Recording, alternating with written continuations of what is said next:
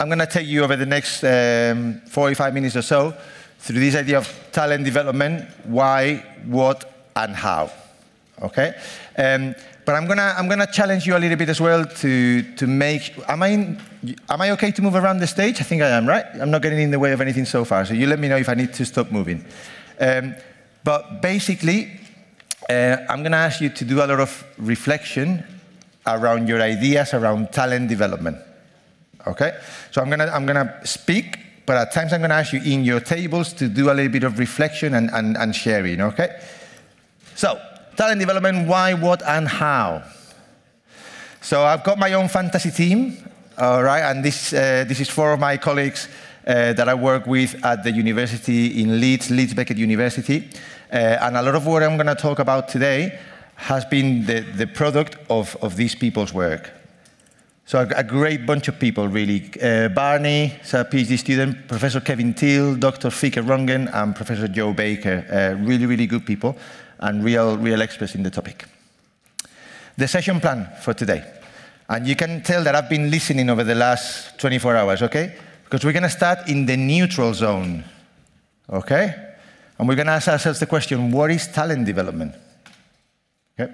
But then we're going to be moving to the defending zone, and we're going to look at why is talent development difficult? And we're going to finish in the attacking zone, reimagining talent development environments. Okay? If you tell anyone outside this room that I'm using hockey analogies, I will kill you because the basketball community will disown me completely, okay?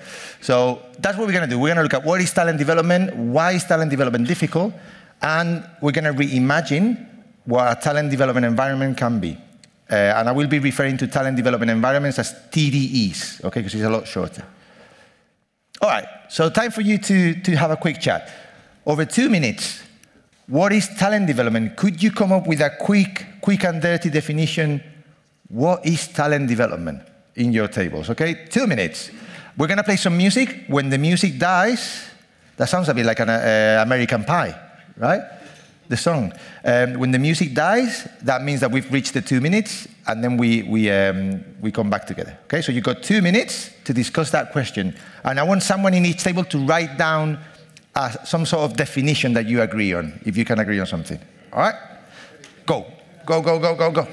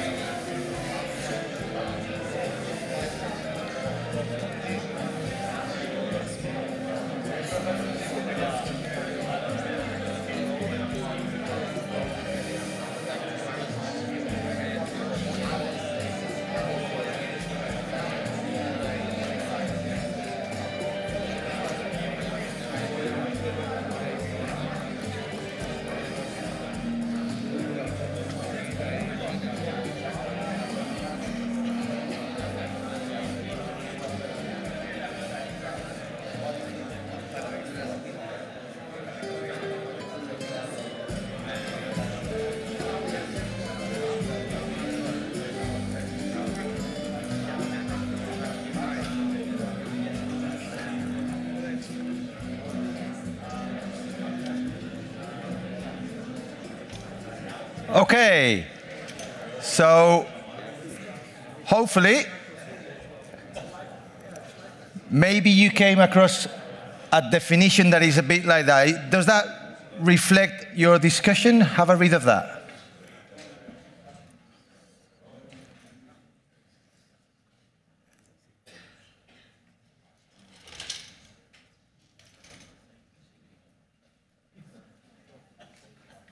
Let's do a, a, sort of gladiator test. So if that definition kind of resonates with what you were describing, go like this. If it doesn't, go like this. And if it's somewhere in between, go like this. Okay, so I'm very great stuff. So let's, let's face the challenge. You guys, you just send me to, to death, right? So can we get a microphone there and have a chat about what, what, what part of the definition, or what, how, what definition did you come up to? We put down a facilitating growth environment. Okay. So, so you focused on the process. Yes. Perfect. Great. Rather than the identifying or the talent identification. Perfect. So that, that's actually, uh, it's like we planned it, because then the, the second half of the presentation is all going to be focused on the process of growth and development, okay? So that's perfect. Um, any other comments on that definition from anybody? Anybody else that had something a bit different? No, we're all good? All right, so hang on to that, because, uh, and if by the time we finish we haven't really answered that question, we'll come back to it. Brilliant, thank you. Okay, so next question. Okay, and for this I'm going to give you a little bit longer, so probably between three and four minutes. Why is talent development difficult? And if the answer to you, if you answer this, it's not difficult, then that's fine, and, and that conversation will be over really quick. Uh, but we get, a, we get a feeling that it is a complex process, okay? So what makes talent development difficult or complex? Again, in your groups, have a, have a chat about that.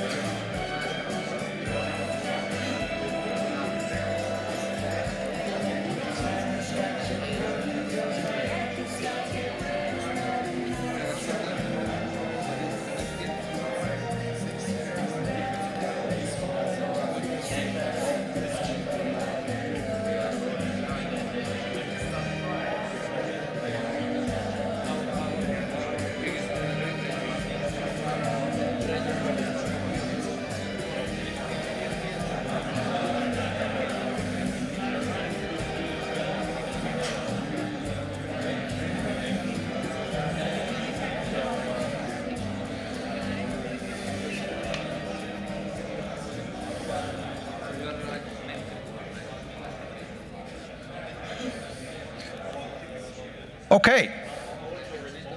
So, um, do we do we have any volunteers to highlight maybe one one issue that you that you came up with in your in your in your table? Why is talent development difficult? Give us an example of why it's difficult. Anybody? Yeah. Can we get the microphone around here? Do you have a microphone? Thank you. Right, just give us your name, please, if you don't mind. Gergely Majoros from Hungary. Um, we thought the, the main difficulty is that everybody and every situation is different.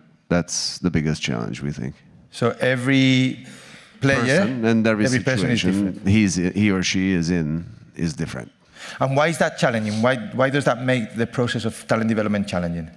Because we, we thought there's no recipe for, you know, developing talent because everybody's different. There's no magic recipe No. to magic formula. Yeah. Because everybody's di- and talent comes in different ways. Okay, perfect. Any any other points? So we've got that one. There- yeah, down there, please, and over here. Yep, there, and then down there. Uh, Marius Gliga, Hungarian Ice Hockey Federation. We thought uh, talent development should be should address individuals, but still, as we talk about ice hockey, it's a team sport, so you have to to, to handle everything and you know use the, that talent in a, in a team sport. Okay, so it's, it's not only so talent development is not just about developing an individual, but it's also about developing them in the context of, of the team. Use the skill set in a team sport. and that brings a lot of added difficulties really because sometimes uh, i feel sometimes that uh, as coaches uh, it works both ways. Sometimes we uh, in a team sport we forget the individual because we focus too much on the team. And sometimes we can forget the team because we're focusing on the and, the and the balance is really difficult. And sometimes i feel that in individual sports it's a little bit easier because you've got to worry mainly about one person. Um, but no that's that, that's great. Thank you. Right there.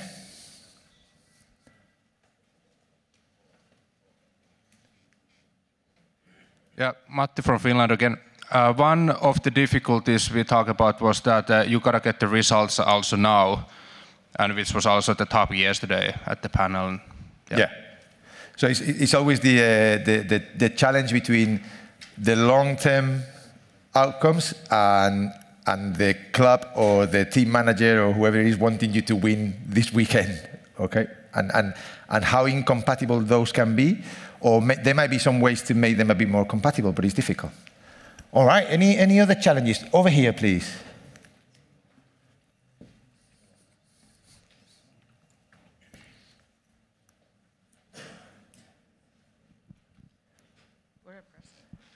I think it's on already, yeah. Um, Tamara from Australia.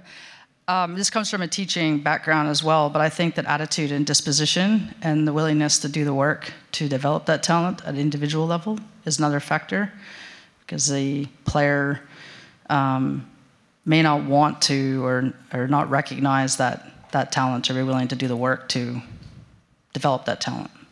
So that's attitude and disposition on the part of the player. Yes. The player understanding the, the, the, the hard work that has to go into becoming an, an elite player, yeah? Yes. Perfect. Uh, and, and we're going to talk about that as well. Um, because it is, I mean, if, we, if we're talking about talent development as the process of taking someone to play in the World Championships, okay, that's not for everybody. Okay, that's not something that everybody can do because they might not be prepared to do what it takes, and that's perfectly fine. And one of the challenges is recognizing as a coach when someone just doesn't want to be there. Even if we think they have the potential to do it, if they don't want to do it, that's, that's when it becomes a bit, we go into a, a bit of an ethical, ethical dilemma, right? Do I keep pushing or do I just go, well, if that's, it's fine, it's up to you. Uh, great. One more challenge. See if there's any, any, any additional challenges.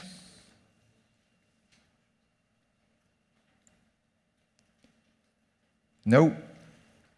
All right, so two of, two of my colleagues there, Joe Baker and, and Kev Till, uh, published a paper three years ago where they reviewed the literature and they came up with a few key challenges that we face when doing talent development, okay? And they're very, very, very uh, relevant to everything you've said.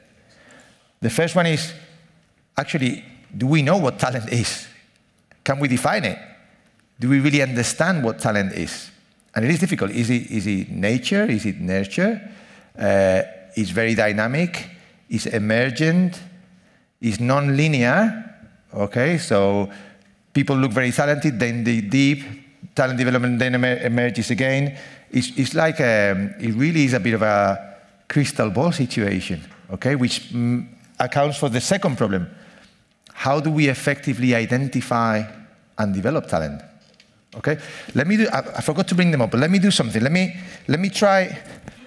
Uh, I also do um, Christmas parties and birthdays and um, what's the word? Yeah, christenings, anything, weddings, divorces, anything, anything, anything ceremonial. Okay, so don't worry, it's not a packet of cigarettes, it's, it's, it's cards.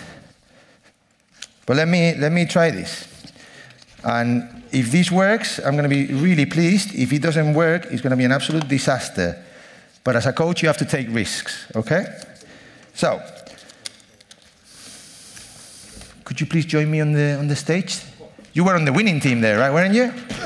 Yeah, sure. Okay, what was your name again? Arpad from, the, from Hungary. Arpad. Arpi. Arpi, Arpi, Arpi is good. All right, Arpi, we're gonna. Um, all right, let me just. Uh, hey, don't look at the cards, man. Sorry, is it gonna be a trick or what? Cheat, yeah. Okay. Arpi, we're gonna try something, okay? Ooh, why are all. Let me just make sure that the cards are looking the right way up. Okay. This is very elaborate, okay? Okay. Okay, bear with me. Uh, Arpi, have you got any good jokes while I finish this? Jokes? No? Okay, we're good, we're good. Okay. So, let's say, Arpi, that we, we're looking for talent in the, uh, in the cards, okay? And we're looking for the aces.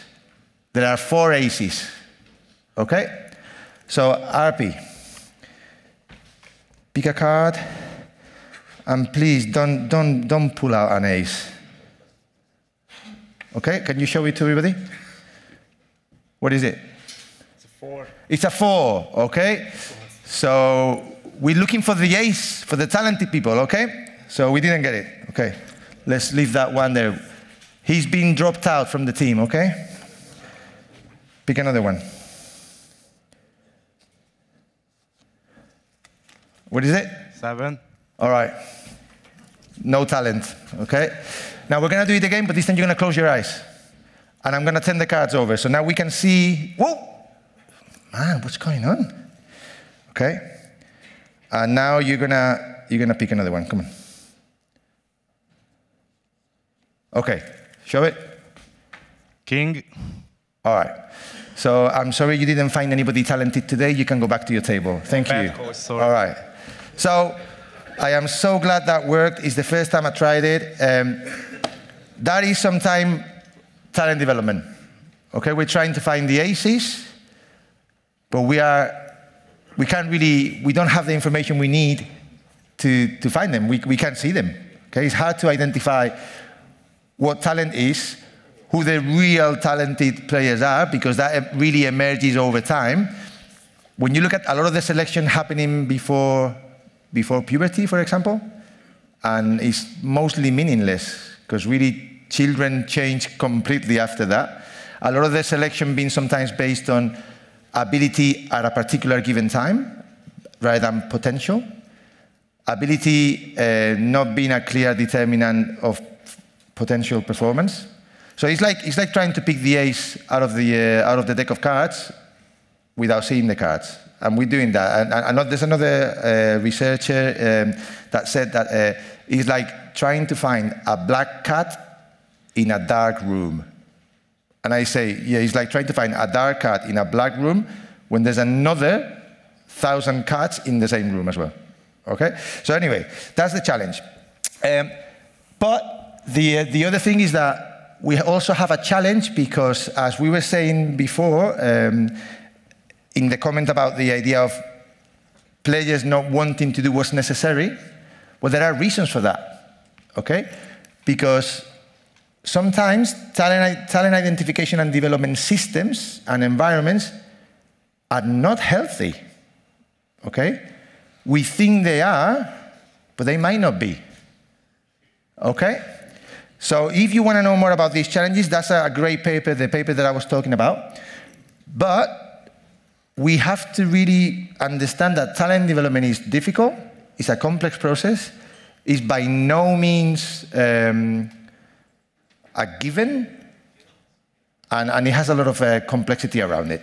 So today I'm not going to go so much into those two elements about trying to improve the way we identify, define, identify, and develop talent, but I'm going to focus a lot more on the idea of how do we create healthy talent development environments. Because as you know, and if you follow the news, you would have seen this regularly, we've had lots of examples over the last few years of environments that were toxic, of environments that were purely abusive, okay? And we've had those examples from every country in the world, okay? So no one, no one is exempted, no country or sport is free of this. We can do a better job supporting athletes develop their talent in a more ethical way. So we're going to go into the attacking zone now, reimagining these talent development environments.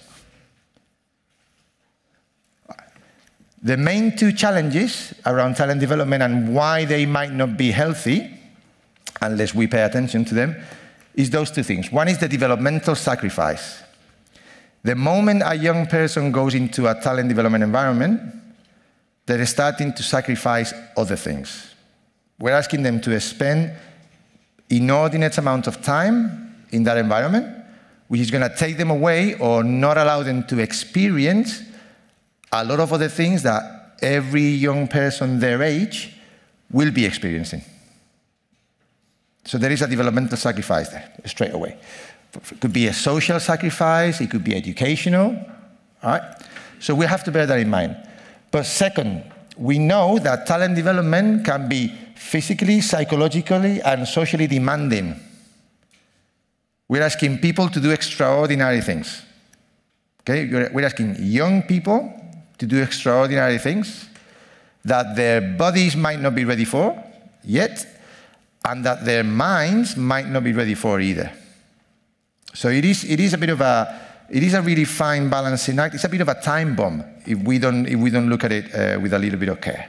So it is, it is not rosy. It's like, I think sometimes we get these, um, Not, I'm not saying you, but in, like people that don't really work in the talent development space, they feel that first coaching in that environment is easy, and second, that the players are having the time of their life okay, when they're going through that environment. But like, like, I was saying, we know that that's not always the case. It is the case for some, but it's not always the case. So how do we make sure that that becomes the, um, the case?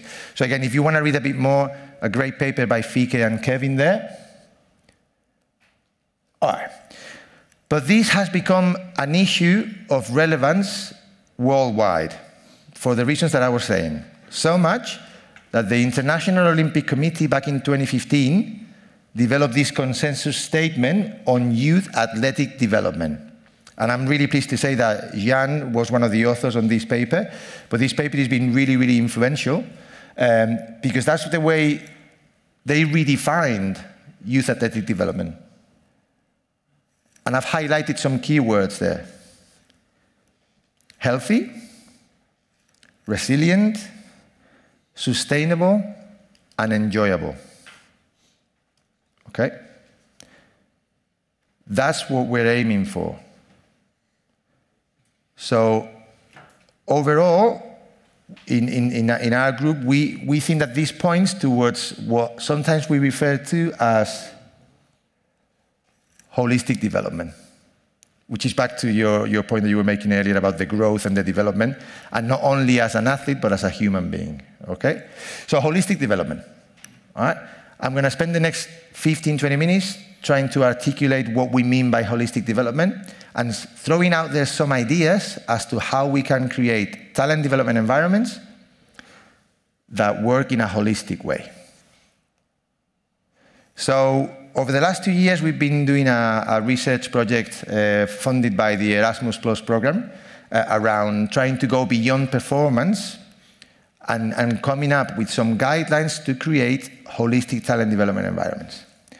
We've, we've, working, we've been working with those 10 partners there from different countries. So we've got uh, the Netherlands Olympic Committee, FIBA Europe, the Belgian Football Association, Lithuania Sport University, the Hungarian Coaching Association, the Universidad Europea of Madrid, the Deutsche Sportjugend, the, that's youth sport in Germany, Sport Ireland, my university, and the International Council for, for Coaching Excellence.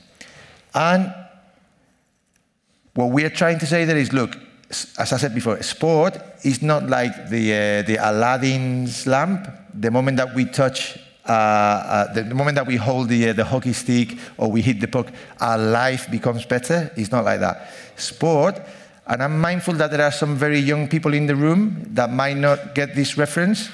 I'm being really ageist there, okay? But a sport really looks a lot more like this, like a game of Tetris okay? Where the pieces have to fall in the right place for the magic to happen, to happen, for that holistic development to happen. Okay? So how do we as coaches play Tetris to get the pieces in the, in the right place? And actually, do we know what the pieces are in the first, in the first place?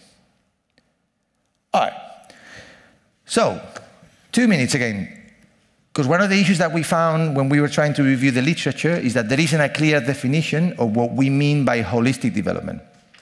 So, what would you say holistic development is? Could you have a chat in your groups, another couple of minutes? What is holistic development? Go, go, go, go, go.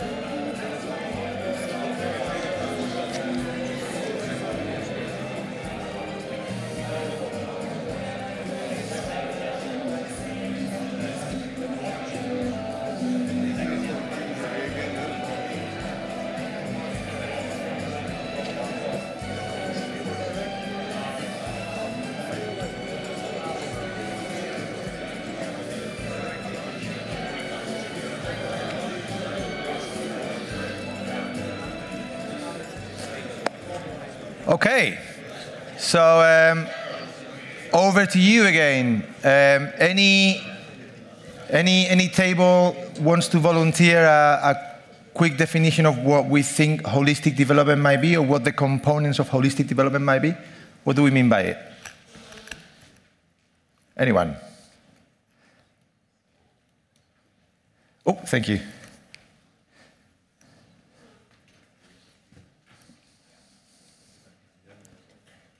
Uh, okay, so physical, social, cognitive, um, affective, spiritual. Yeah, that's what I say. Physical, cognitive, social, emotional, affective. So generally, all those dimensions. Fantastic. Okay, so really covering the whole spectrum of human development. Okay, perfect. Any, any other definitions? Any other, any other things that, that you discussed?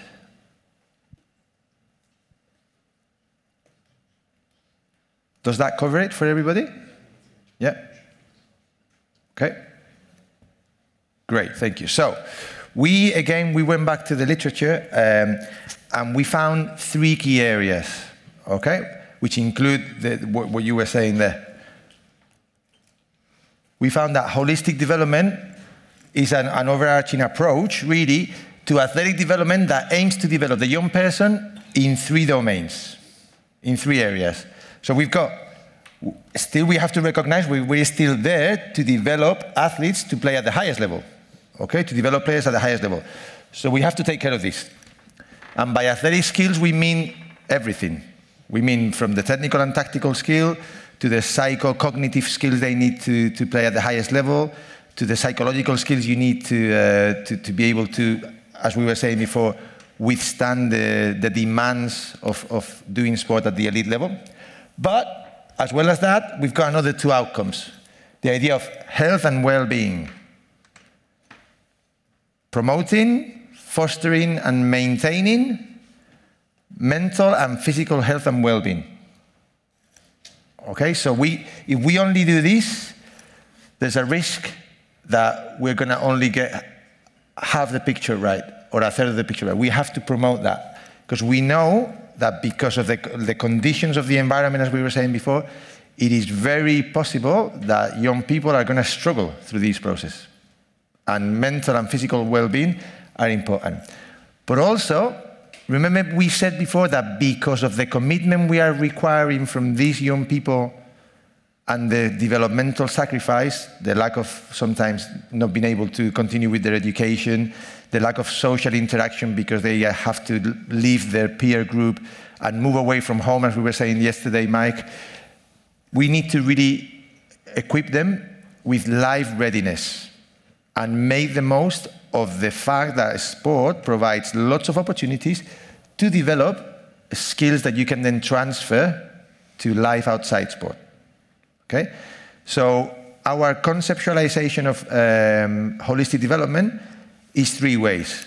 Athletic skills, well-being, and life readiness. Okay? So that is a lot to do. Okay? And we want to make it clear this is not only the job of the coach, okay? Or this is not only the job of sport, but we have a responsibility to support these three areas for the young people that we work with. Okay, and I hope you agree with that. Um, and if you don't agree with that, I'm going to try and convince you.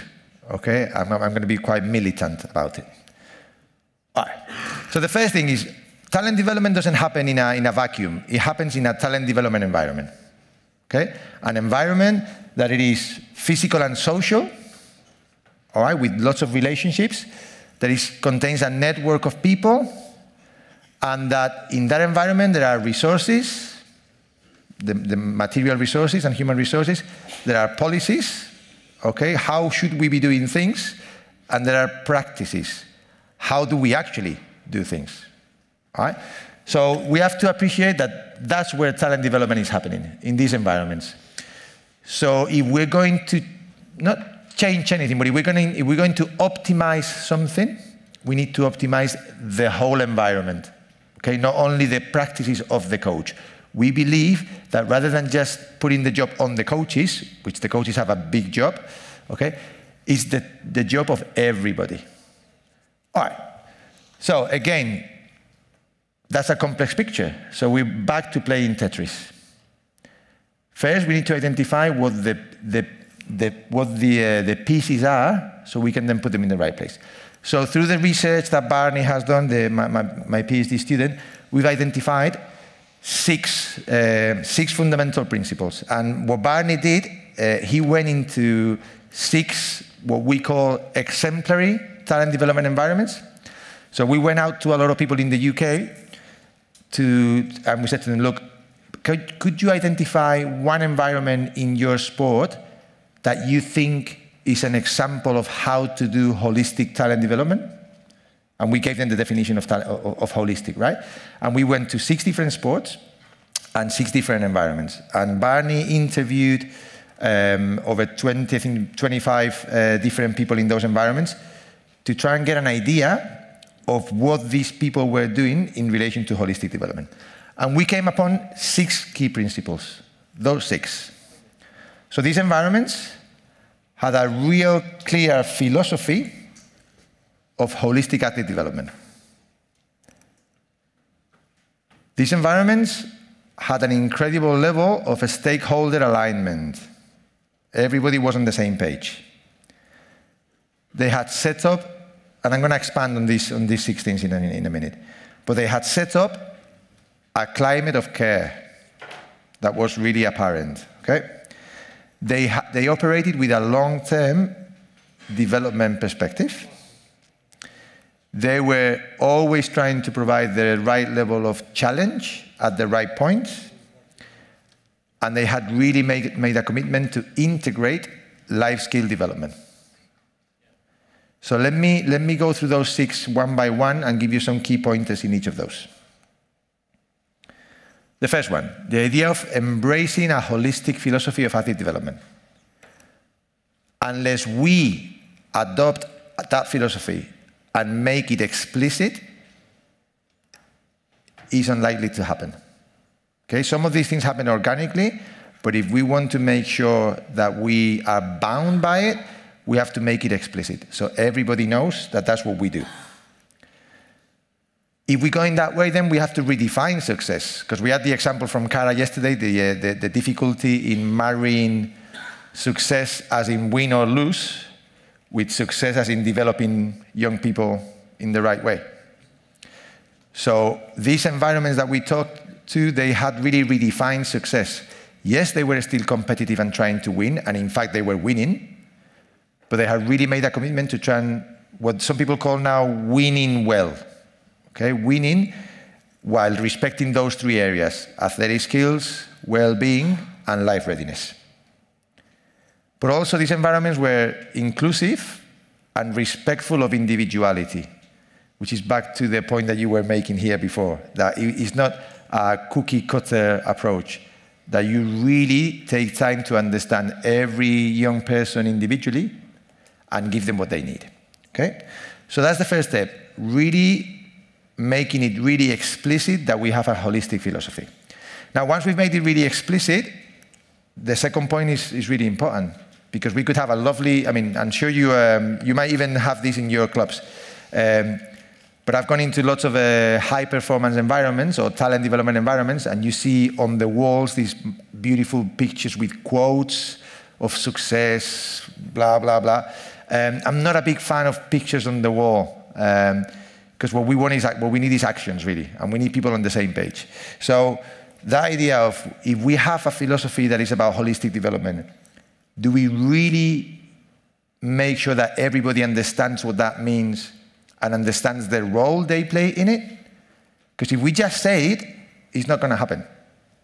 Okay? Or we are leaving it to chance. And I think one of the things that we, as coaches, back to the scouting session yesterday, we don't want to leave too many things to chance. So this is one of those that I, I would prefer that we don't leave it to chance.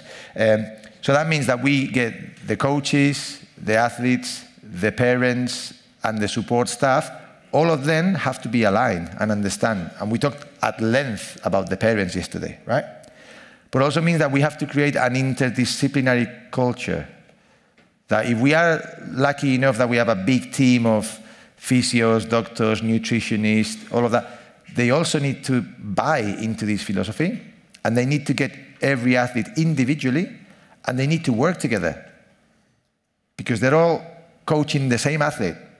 And we have to stop working in silos where the physio doesn't know anything about what the nutritionist is doing or what they're doing in the strength and conditioning session or what they're doing you know, when they've got the next game. We really have to work to, uh, to get everybody on the same page.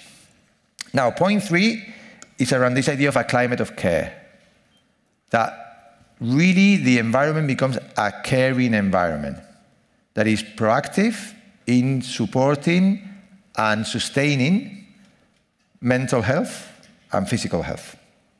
Okay, that we put steps in place that that becomes a real objective, and therefore we put resources behind it. For example, um, Manchester United Football Academy only recently, a few weeks ago, appointed for the first time uh, a director of well-being for the football academy. Someone that their job is just going to be to make sure that there is a climate of care implemented at Manchester United Football Academy. Right. Now, a big part of this, and sometimes, or a lot of times, overlooked, because we feel that as coaches we have all the answers, is the idea of amplifying the voice of the players. Okay?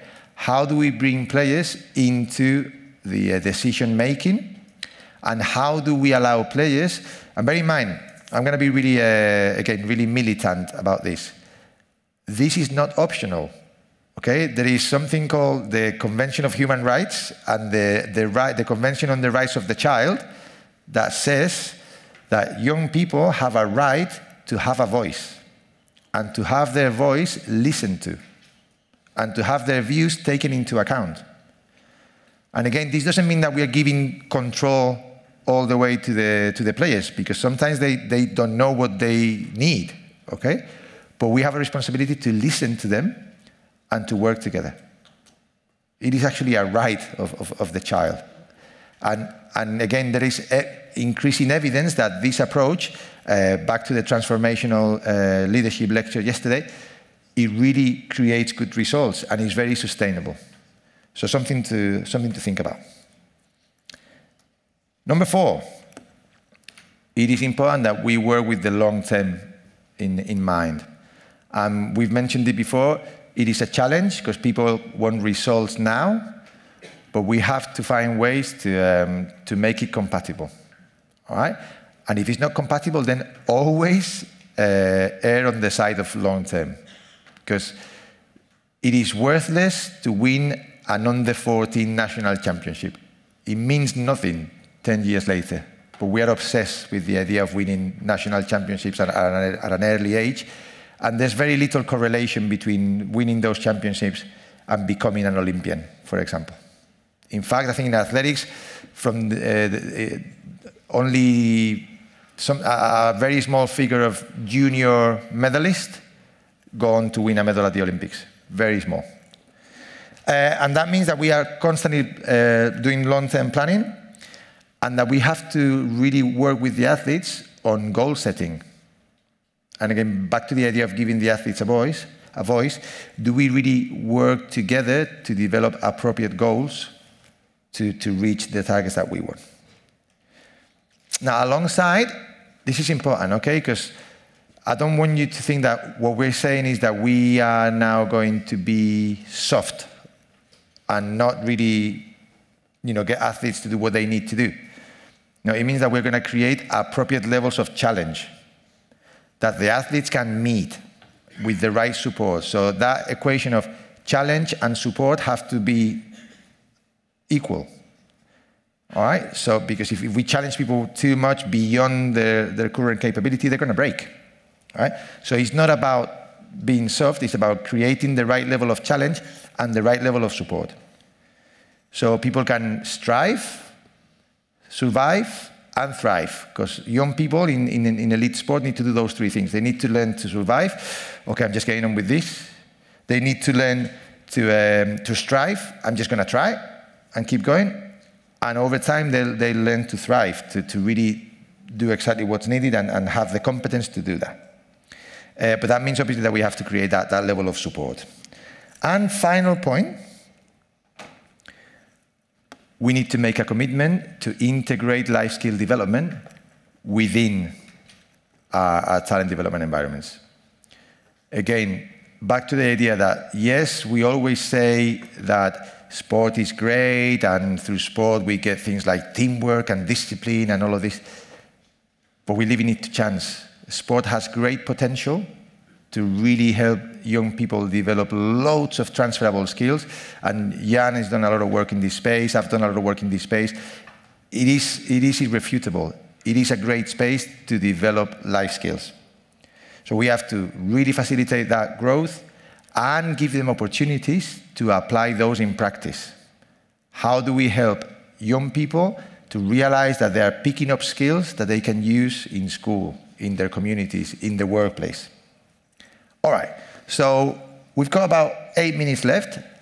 I'm going to give you three or four minutes to, with those on the screen, have a chat about. It could be how well are we doing in, in these six areas in your environments?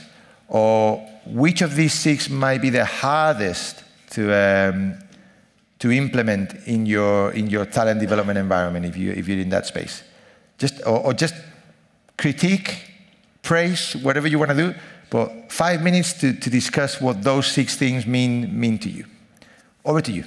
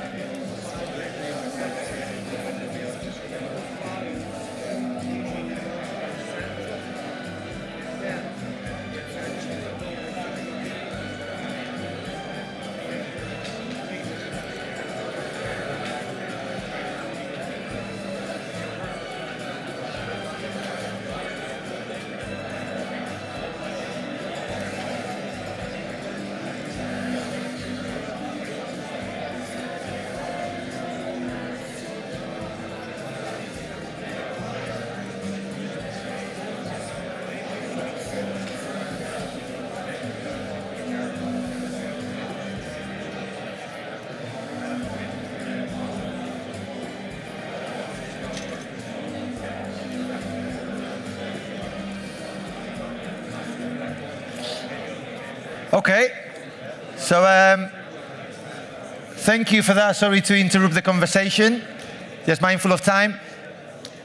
Anybody happy to volunteer some of the some of the reflections? What are around these six areas? Any any of the tables?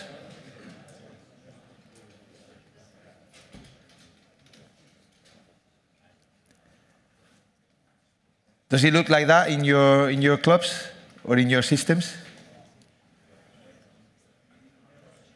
I see some smiles. I'm taking that it doesn't really look like that in, in some places.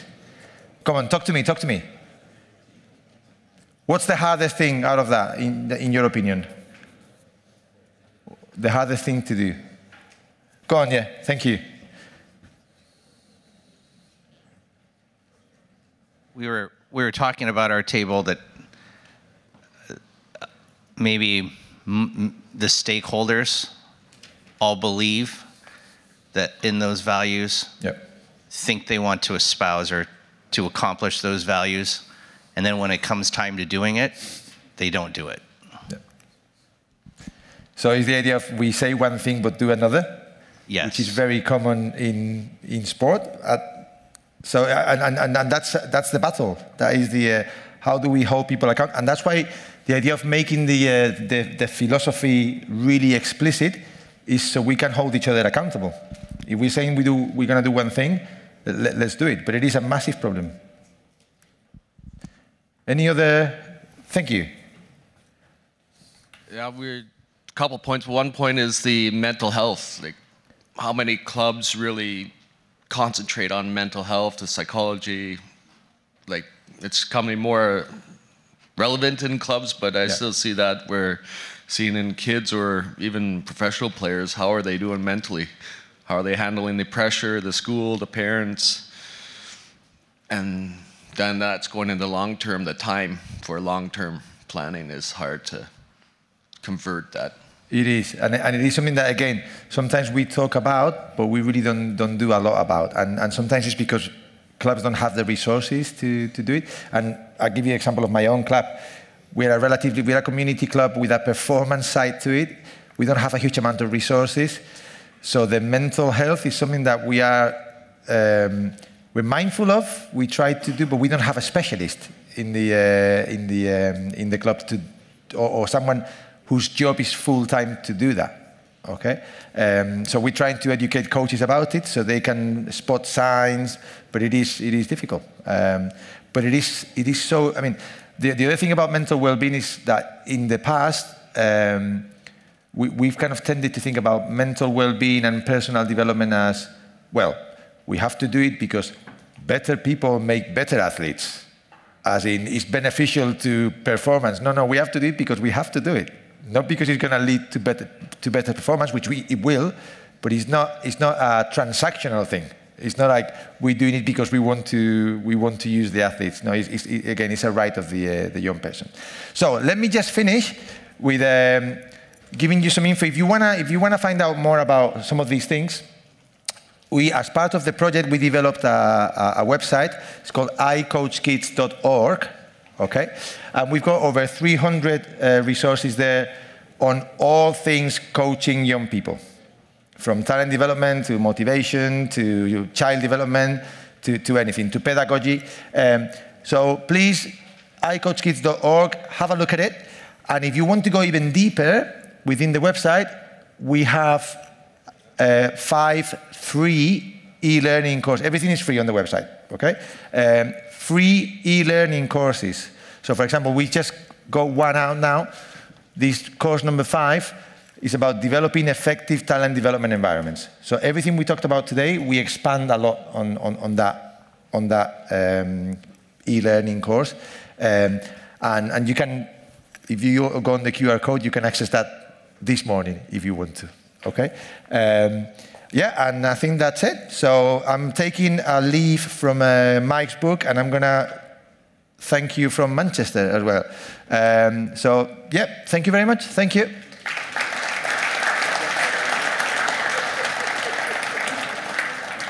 Okay, so I'm mindful of time, and we've had already like a, a bit of a Q&A. So we're gonna break for coffee, okay? And I'm gonna be around for coffee if you want to ask me anything about this area, by all means, come and grab me. And I will see you in 15 minutes for our second presentation this morning. Thank you.